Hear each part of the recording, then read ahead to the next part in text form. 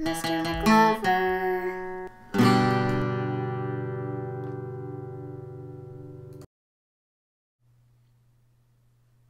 Hey guys, this is your adding fractions quiz. First problem, 1 fourth plus 2 fifths. We're going to solve most of it on this one together. The denominators are different, so go ahead and multiply the bottom numbers. 4 times 5 is 20. Multiply the diagonal. 5 times 1 is 5. Multiply the other diagonal. 4 times 2 is 8.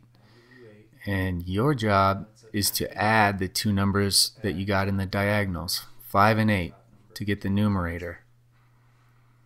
And that'll give you your answer.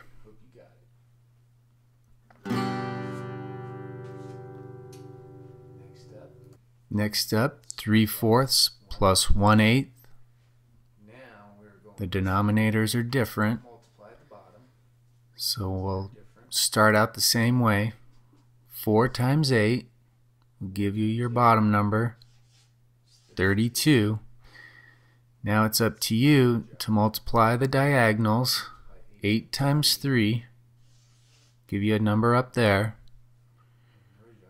4 times 1 give you a number up there. And you need to add those two numbers to get the numerator.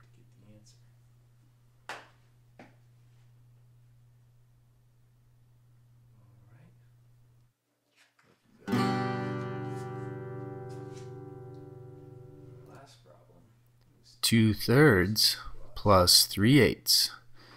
This one you're going to have to do all the work.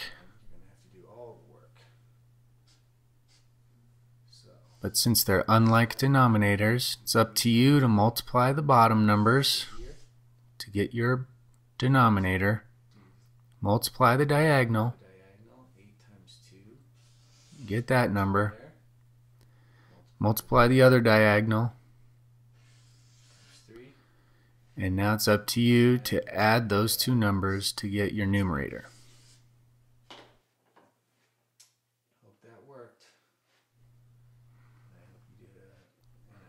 And that's it for the quiz. Good work. See ya.